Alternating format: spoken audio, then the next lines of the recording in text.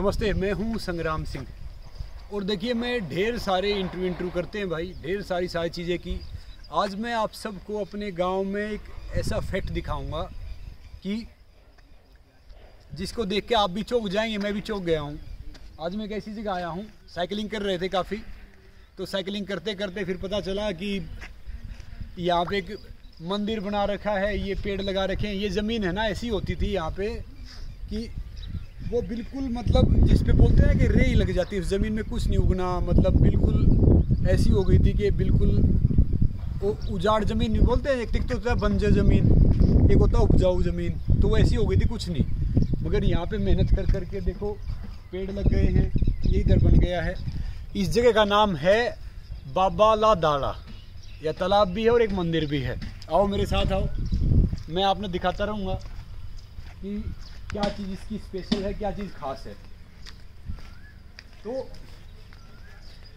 एक खास बात ये है इस मंदिर की, जो मैंने अभी सुना इस मंदिर की, कि यहाँ पे जो भी कोई आता है, उसकी 90 परसेंट सक्सेस रेट है मन्नत पूरा होने का, मुराद पूरी होने का। और कोरोना भैया कोरोना से देखो मास्क तो लगाना दूर की बात है, अपना देसी जुगाड़ कर लो। ये रखा है देसी जुगाड़ है तो इसको ऐसे उतार लो। तो यहाँ का ये यहाँ पे गोरखनाथ जी का मंदिर है, माता का मंदिर है, शिव जी का मंदिर है, ढेर सारे मंदिर हैं जो यहाँ पे बने हुए हैं। तो खास बात क्या है कि इस मंदिर में जो भी यहाँ के मत्था टेकता है, जो भी यहाँ के वो करता है, उसकी सारी मन्नतें पूरी हो जाती हैं। और अभी तो खास बात क्या है, और दिखाऊँगा मैं आपको। आ जाओ। ये है ये है एक तालाब।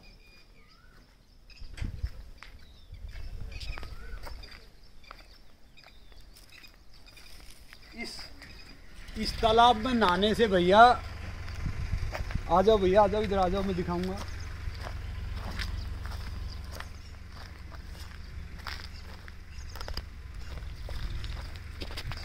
इस तालाब में नहाने से फोड़े, फुंसी, दाद और जो मच्छ वगैरह होते हैं वो साफ़ हो जाते हैं दो दिन में। और मैंने कहा कि सब के हो जाते बोला हाँ जिसके मच्छ साफ़ नहीं होते ना, उसने बताया जो यहाँ पे रहते हैं, उनसे तो मिलवाऊँगा। सुरेंद्र दांगी जी हैं, वो भी ज़बरदस्त हैं वो। उन्होंने क्या किया कि पहले आर्मी में थे, फिर नौकरी से रिटायरमेंट होके 2015 में उन्होंने खुद स्टार्ट किया। 2015 में शुरुआत की और 2015 से अब तक उन्होंने इस जगह को जन्नत बना दिया है, बिल्कुल स्वर्ग बना दिया है। 200 पेड़ लगा दिए, अकेला इंसान मेहनत करता रहता है, अब गाँव वाले धीरे धीरे सपोर्ट कर रहे हैं। तो उसने बताया किसी के मच्छ वच्छ दूर नहीं होते तो झाड़ू चढ़वा देते हैं मंदिर में, और उससे आस्था हो जाती है। किसी के बच्चे नहीं होते या किसी की कोई मन्नत पूरी करनी हो तो कहता है कि भैया सेल्फलेस इंसान है, उसने अपना घर बार सब छोड़ दिया है, सारी चीज़ें छोड़ दी हैं, और उसके बावजूद जो करते हैं ना तो ये ज़बरदस्त है। तो ये तालाब है। मैंने कहा कि भैया, मेरे हाथ पे भी एक छोटा सा, यहाँ पे छोटा सा एक मच्छ है। तो हल्का सा, छोटा सा। तो ये बोले कि भैया दो दिन इस पर पानी डाल लो, ठीक हो जाएगा। तो मैंने कहा, भैया, मैं डाल के देखता हूँ, फिर सबको बताऊँगा। तो इन्होंने क्या किया है कि देखो, ये ढेर सारे पेड़ बना दिए छोटे छोटे यहाँ पे पेड़ होते नहीं थे कुछ भी। ये सब लाइन से चला दिया है। और वो वो इंसान ना दो दो बजे उठ के रात को मेहनत करता है। मतलब इतनी मेहनत करते हैं कि क्या बताऊँ। तो वही कहते हैं ना कि देखो बाकी सारी ज़मीन ऐसे ही पड़ी है उजाड़ पड़ी हुई है। इसको इन्होंने इसने स्वर्ग बना दिया है। और सिर्फ़ और सिर्फ़ अपनी मेहनत के दम पे। चमत्कार को नमस्कार है। वो बात भी वैसे ही करते हैं। और बहुत जुनूनी इंसान है। कहते हैं ना कि भैया बींग नॉर्मल इज़ बोरिंग पागल बनना पड़ता है। तो वो जुनूनी इंसान है पागल इंसान है। तो अब हम उन्हीं से बात करेंगे। आपको दूसरी साइड भी दिखा दें इनकी ये देखो पूरी चला रखी है उन्होंने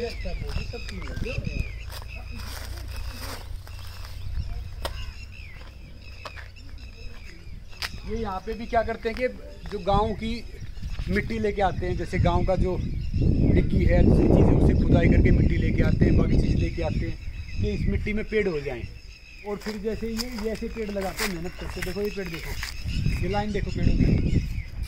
ये ये मेहनत कर करके जैसे ये नीम है ये नीम है। बाकी है अगर इस इंसान को ट्री मैन कहा जाए तो भैया अतिशोक्ति नहीं होगी। सही है। और फिर इन्होंने अपने ऐसे मंदिर बना रखे हैं शिव जी भगवान जी का, हनुमान जी का, और ये हनुमान जी का मंदिर है। ये शिव जी भगवान जी का मंदिर है। और ये देखो, ये ऐसे मिट्टी खोद खोद के आ रहे हैं।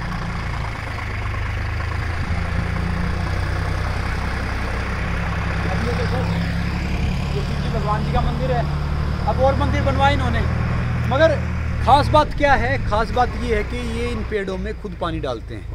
इस तालाब का पानी है ना, उसके लिए यूज़ नहीं कर सकते। किसके लिए? पेड़ों के लिए। तालाब के पानी से दाद खाद, खुजली सब ठीक हो जाता है। मगर पेड़ में डालो, पेड़ मर जाते हैं। चक्कर मुझे भी समझ में नहीं आया क्योंकि पानी उतना मीठा नहीं होगा। तो ये टैंकर लेते हैं, टैंकर डलवाते हैं, तब मीठा पानी आता है। तो अभी उस आदमी से भी हम बात करेंगे, दिखाएँगे, पहले उनके, उनसे पूछ लें कि क्या कुछ है। अब मैंने सलाह दी कि जी यहाँ पे गाय भी बाँध लो दो चार। गाय बाँध लोगे तो अच्छी बात है, दूध भी हो जाएगा। बोला कि अकेला आदमी क्या क्या करूँ? मैंने कहा, गाय तो बाँध लो। तो ये मंदिर बना रखे हैं भैया। माता का ये हवन होता है हर रोज़ यहाँ पे। हवन कुंड है। और एक जोत जो जलती रहती है अखंड जो पिछले 2015 से इन्होंने जला रखी है वो जोत भी इनके अंदर है शायद। अखंड जोत जो जलती रहती है वो उसमें है। सही नहीं इसी साइड में है अखंड जोत इसी मंदिर में अखंड जोत जो जलती रहती है। दिखा दो अगर जोत जल रही है तो भैया जोत दिखा दो जो अखंड जोत जलती रहती है।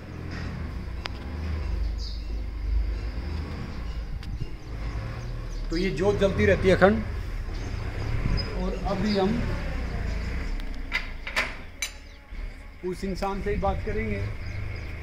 देखेंगे। हाँ जी आप आना एक मिनट।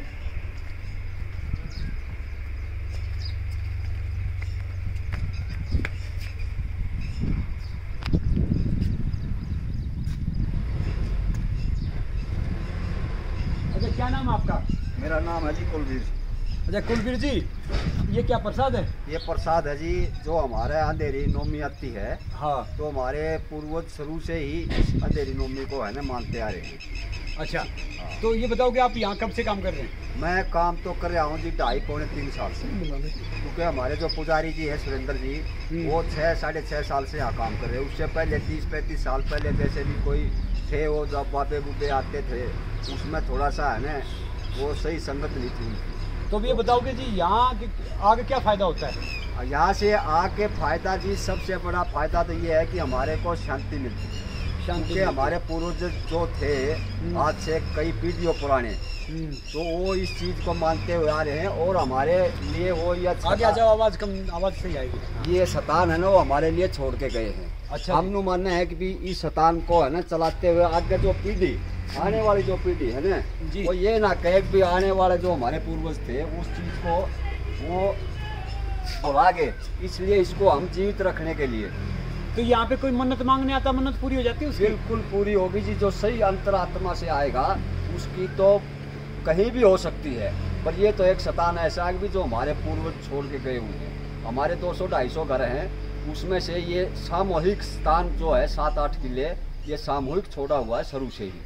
अच्छा तो जो ये सुरेंद्र जी ने बहुत मेहनत की है? हाँ सुरेंद्र जी तो नु मान लो कि इतनी मेहनत की है इन्होंने तो शुरुआत में तो इन्होंने खेती भी करी फिर फौज से रिटायर होके आए उसके बाद है ना फिर खेती आगे करी उसके बाद ऐसा मन पलटा अब भी इन्होंने साढ़े छः साल के आसपास हो गए इसमें पेड़ पौधे दिन रात हर आदमी की मतलब इसमें आस्था बन गई है इस मंदिर में जनानी भी किसी टाइम आ जाओ औरत भी किसी टाइम आओ कोई भी अच्छा, किसी तो- को डर का भाव नहीं सुरेंद्र जी कहाँ जी सुरेंद्र जी वो उधर वो। एक बार- बुला के लाओ ना जी सुरेंद्र जी को। तो भैया अब ये मुँह से मिलेंगे। ये प्रसाद है खीर बना रखी है इन्होंने। अच्छी तो देखते हैं भैया खीर बना रखी है प्रसाद तो खाना चाहिए। हम्म। बहुत टेस्टी है। तो हम सुरेंद्र जी से बात करेंगे कि सुरेंद्र जी ने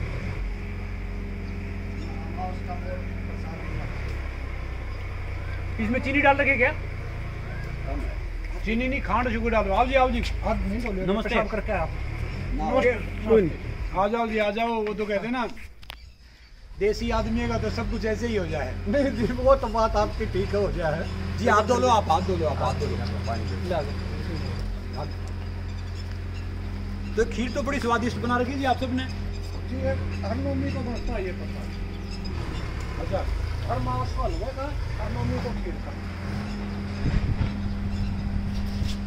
अच्छा ये बताइए सुरेंद्र जी, पास ले आओ भैया। तो ये वो इंसान हैं जिन्होंने उस चीज़ को, इस चीज़ को स्टार्ट किया है शुरुआत की है, और अब ये पता नहीं कहाँ तक पहुँच गया। मैं कहता हूँ कि आप अगर ये मदीना गाँव से गुजर रहे हैं तो बाबाला डाला ज़रूर आए भैया। आपकी सारी मन्नत भी पूरी होंगी, और आपको बड़ा सुकून मिलेगा। देखो, मैं हम तो साइकिलिंग करके आज आए मैं तो पहली बार आया हूँ। सुकून मिल रहा है हम इन जानेंगे। अच्छा जी बताइए कि आपने कब शुरू किया है ये मैंने किया जी दो दिसंबर 2015 से। वैसे तो मेरी मान्यता है दादा परदादा की मानता था पर कभी दो महीने में महीने में कभी छः महीने में मैं आर्मी की नौकरी करता था तब तो साल साल भी हो जाता था। हम्म।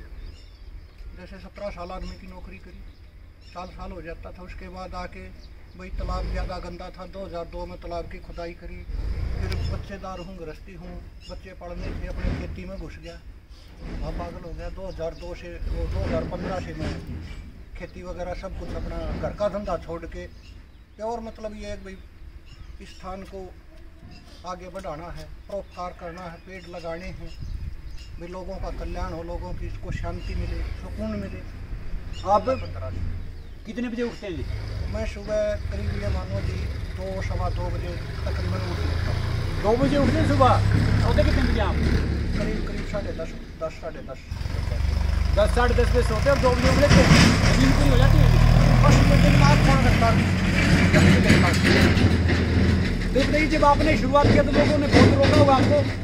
जिस टाइम मैंने शुरुआत किया उस टाइम इसलिए नहीं रोका जी ये शमशान था। दो साल शुरू में मैं बिल्कुल एकांतवास नहीं बोलते हैं जिसको। मैं बिल्कुल एकांतवास में रह गया क्योंकि मैंने चौबीस घंटे अपनी मेहनत नहीं करी? भाई उस टाइम बहुत अच्छा काम हुआ। उस टाइम लोगों का इतना बहुत कम आते थे भाव नहीं था। लेकिन जैसे जैसे लोगों को पता चलता गया लोगों की मन्नतें पूरी होती गई लोगों की भावना बढ़ती गई शुक्रिया जी।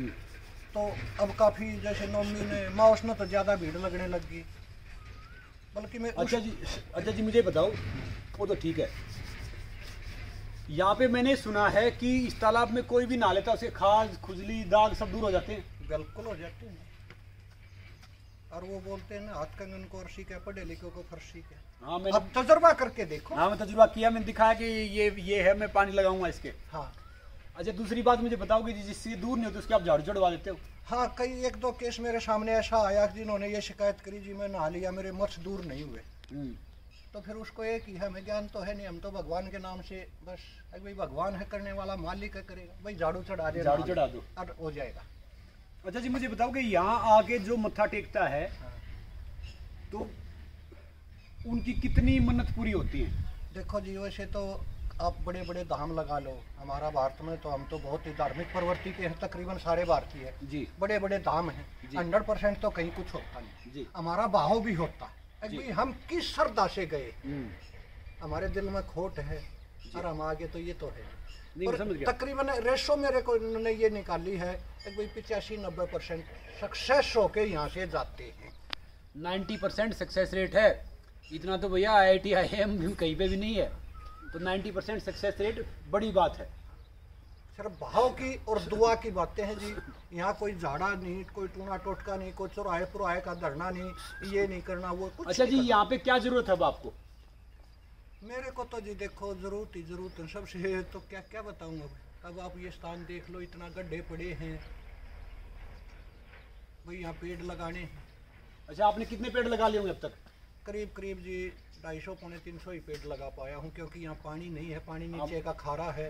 वो बताया मैंने कि पानी सही नहीं है हाँ ज़मीन सही नहीं है ज़मीन जो रेई की ज़मीन बोलते हैं इसको बोलते हैं ना कि बंजर ज़मीन पड़ी है वो उपजाऊ नहीं है। अब आप देख लो मैं कहाँ से मिट्टी मंगा रहा हूँ। हम्म खोद के मंगवा रहे हैं। हाँ मंगवा रही ये सिर्फ़ ये है भाई इस रेई की मिट्टी को निकाल लूँगा गड्ढे ज़्यादा गहरे खोद दूँगा ये मिट्टी भरूँगा। तो जी आप सभी जो यूथ है युवा है उनसे क्या अपील करेंगे? युवा से तो मैं यही अपील करूँगा कि सुबह से भगवान में विश्वास करो और अपनी मेहनत में विश्वास करो। भगवान में विश्वास करो अपनी मेहनत में हाँ, विश्वास करो। मतलब- यहाँ के यहाँ के स्थान के लिए क्या अपील करेंगे आप युवाओं से? भाई मैं तो यही करूँगा अगर आपके पास समय है तो आप यहाँ आइए। थोड़ा बैठिए शांति लिए काम कीजिए। थोड़ा बहुत जिसे आपका शरीर मानता है। भाई पौधा लगाओ पौधे में पानी डालो कहीं कोई झाड़ी है उसको काटो सफ़ाई करो। भैया देखो जो यूथ हैं सुरेंद्र जी, बहुत हम्बल इंसान है, मैं बता रहा हूँ, मैं उनसे एक कहता हूँ कि जो भी गाँव के हैं मेरे यूथ हैं, या पड़ोसी गाँव के हैं यहाँ आओ, मेहनत करो, और जितना भी आप कंट्रीब्यूट कर सकते हैं कंट्रीब्यूट खाली, देखो, योगदान पैसे से नहीं होता, योगदान श्रम से भी होता है, योगदान एक प्यार से भी होता है, योगदान अपनेपन से भी होता है, योगदान हर चीज़ से होता है। तो जितना भी आप यहाँ के दे सकते हो the best living is giving जब ये इंसान सेल्फलेस होकर इतनी चीज़ें कर रहा है, और मैं कह रहा हूँ कि भैया, यहाँ पे 90 परसेंट सक्सेस रेट है। मैं भी यहाँ पे ज़रूर मन्नत मांगूँगा। कोरोना ख़त्म हो जाए, सब खुश रहें, सारी चीज़ रहें, वो भी मांगेंगे। तो आप यहाँ आओ और यहाँ आके सुरेंद्र जी से ही मिलो। बहुत जुनूनी, बहुत पैशनेट इंसान है और आप अपनी श्रद्धा से जो भी कुछ कर सकते हैं, किसी को पेड़ लगाना है या किसी को कुछ करना है या डोनेट करना, क्योंकि मैं जानता हूँ कि एक पेड़ को बड़ा करना, एक बच्चे से कहीं बड़ा करने से भी ज़्यादा काम होता है। क्योंकि पेड़ में पानी डालना, ये सब करना और यहाँ पे तो ये हाथों से पानी डालते हैं। हाँ ये पक्का टैंक बनवा रखा है। टैंकर से टैंक में डलवाता हूँ। और वहाँ से फिर बाल्टियों बाल्टियों डालता हूँ क्योंकि ये पानी तो खराब है। अब जी आप साठ साल के करीब हो गए। हाँ साठ के करीब हो गए। मगर आप इतनी मेहनत करते हैं। उसका ऊपर वाले का आशीर्वाद है जो मैं थकता नहीं दिन रात। वाह। तो ये देख लो भैया। दूसरा एक और है मैं हार्ट पेशेंट हूँ मेरे छल्ले गले हुए मेरे को कभी महसूस नहीं होता कि मेरे को छल्ला गलिया हुआ पहले हार्ट का इनका ऑपरेशन हो रखा है और यहाँ पे बाईपास वगैरह जो बोलते हैं ना डॉक्टरी भाषा डॉक्टर को मैं भी नहीं जानता। तो इनको ऐसे यहाँ पे वो रिंग डाल दिए गए थे। अब ये रिंग विंग इनके सब खत्म हो गए इतनी मेहनत करते हैं कि भैया मैं और मेरे जैसे और आदमी यहाँ मेहनत कर पाए। कस्सी से लेके हर चीज़ से लेके पानी से लेके। भगवान का ही तो आशीर्वाद है तो, तो छह साल से मेरे को खांसी नहीं जुकाम नहीं कोई खांसी खुराई कुछ भी नहीं बुखार नहीं और दिन भैया- रात चलता हूँ। कोरोना का तो जानते भी नहीं इनको तो खांसी जुकाम भी नहीं होता है। तो आप भी आओ मैं आया हूँ आज मैं भी यहाँ पे मन्नत मांग के जाऊँगा मत्था टेक के जाऊँगा बाबा जी को। इनका भी आशीर्वाद लूँगा बोलूँगा। सभी को मैं ये बोलता हूँ भाई सावधानी बरतो मास्क लगाओ क्योंकि एक जो वैज्ञानिक हो लेकिन मेरे अंदर दिल से मानो तो मैं खुद के लिए लेकिन अगर मैं ये भाषा बोलूँ तो गलत संदेश जाएगा। मैं कोरोना को कुछ मानता ही नहीं अपने लिए। देखो जी आप इसलिए नहीं मानते ना कि आप नेचर में रहते हैं आप मेहनत करते हैं बाकी लेकिन सभी को संदेश ये देता हूँ बाकी मास्क पहनो बाकी सबके लिए सबके लिए। कोरोना है भैया क्योंकि आम आदमी क्या है कि अपनी जैदोजहद में लगा रहता है तो मास्क पहनो सोशल डिस्टेंस बना के रखो अपने हाथ है ना सैनिटाइज की बजाय राख और मिट्टी से धो साबुन मिल जाए साबुन से धो और अपनी सफ़ाई रखो। जो पहले गाँव में नहीं होता था कि भैया हम ये देखो आज हाँ, साइ- आज आज साइकिलिंग करने आए हैं देखो मैं इस ड्रेस में आया हूँ निकल बनियान में नहीं आया। तो मैंने क्या किया कि फिर ये ये कर लो बोले भैया ये इससे क्या है कि धूप से बचाओ धूल से बचाओ कोरोना से बचाओ। तो आप ये सब रखो और देसी चीज़ लेके आओ जो देसी चीज़ है ना उसका मुकाबला है ही नहीं नहीं है जी देसी का कितना नहीं है। कितना ही कुछ कर लो। हमारे ऋषि मुनियों ने हमारे दादा परदादाओं ने। तो जी ना देसी गाय का मुकाबला ना देसी दूध का मुकाबला ना देसी चीज़ों का मुकाबला ना देसी कपड़ों का मुकाबला। अब मैं एक से एक महँगा सूट पहन लूँ भैया कुछ भी पहन लूँ मगर जो मुझे कुर्ता पजामा देगा ना कुर्ता और पजामा और ये पढ़ना इसका कोई मुकाबला है ही नहीं। तो आप सब आओ यहाँ पे जब भी आप गुजरो मदीना गाँव में रोहतक से हाईवे पड़ता है हिसार के उस पर जाने पंद्रह किलोमीटर है। यहाँ पे एक बाबाला डाला है। बस स्टैंड से एक किलोमीटर दूर किसी से पूछ लो। वहाँ पे आओ। जिनके बच्चे नहीं होते हैं जिनकी बाकी चीज़ें नहीं होती इन्होंने बोला कि यहाँ पे 90 परसेंट सक्सेस रेट है। दाद खाज खुजली है वो भी आ जाओ भैया ना जाओ। और फिर देखते हैं फिर आगे हम बताते हैं। जी पहलवान जी? भगवान का आशीर्वाद लगा लो ना मेरा। एक लड़का है एक लड़की है। मेरा लड़का क्लास वन अफसर है। बार बार बोलता है वो आ जाए लेकिन मैं नहीं जाता। बताओ भैया ये इनके जो लड़के हैं वो भी क्लास वन ऑफिसर हैं जो फ्लाइंग अफसर है एयरफोर्स में डिफेंस में ही मैंने देश सेवा में ही भेजा मैं खुद देश सेवा में था। बिल्कुल जो जो गुड़िया है वो भी अपने अच्छा कर रहे हैं। हाँ एम कर रखी है मैथ से बी कर रही है। देख लो अब जो आजकल के बच्चे इतना पढ़ते मैं तो भैया गाँव से तैतीस परसेंट वाला स्टूडेंट था। लटके लटके मतलब डी डी एम पी कम से कम मैट्रिक पास किया फिर आगे गए बाकी ये कि जुनून बना के रखो। मेहनत बना के रखो। भाई। मेहनत बना के रखो और वो सारी चीज़ करते रहो। अब जैसे ये जो आजकल के बच्चे हैं। ये मेरा भतीजा है ये बी ए है नमस्ते। एलएलबी कर रहे हैं वाह। तो भैया कोई पंगा उंगा भी ले लेना वकील भी है पास में ये पूरे कोऑपरेट करते हैं उसकी मम्मी देखो वो तो बहुत ही ज़्यादा मेरे को मनोबल बहुत बड़ा तो भैया ऐसे यूथ भी आओ ये भी आओ और आप आओ जो भी आप योगदान दे सकते हैं अपना योगदान दो। योगदान खाली धन से नहीं होता मैं बोल रहा हूँ कि भैया तन से मन से गुड विशेष से दुआओं से देखो कहते हैं ना रक्तदान खाली खून देना नहीं होता। कोई काम कर रहा है उसको दो प्यार के शब्द बोल दिए और रक्तदान उसका खून बढ़ गया। कोई काम कर रहा है उसकी पीठ थपथपा दी, वो शर्मदान है कि भैया मेहनत तो कर रहा है हमने वो कर दिया। तो भाई ज़िंदगी में वही रखो, एक पॉजिटिव एटीट्यूड रखो, और बाकी भैया विषमपिता में तो कोई है नहीं, सबको जाना है। फिर जाने से पहले जो छोटी सी ज़िंदगी मिली है कोई सार्थक तो करके जाएँ। तो फिर आगे हम फिर मिलेंगे नेक्स्ट एपिसोड में। नमस्ते।